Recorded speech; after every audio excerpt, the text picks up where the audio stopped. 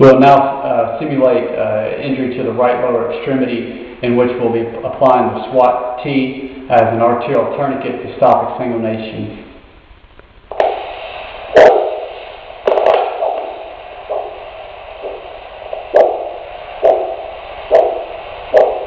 After the time of injury, SWAT T will be taken and wrapped around the extremity.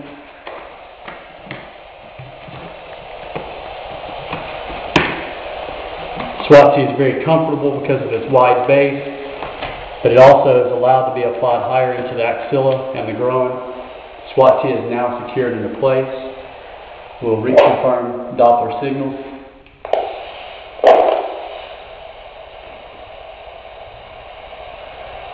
To show that the SWAT T is fully functional, fast, and effective.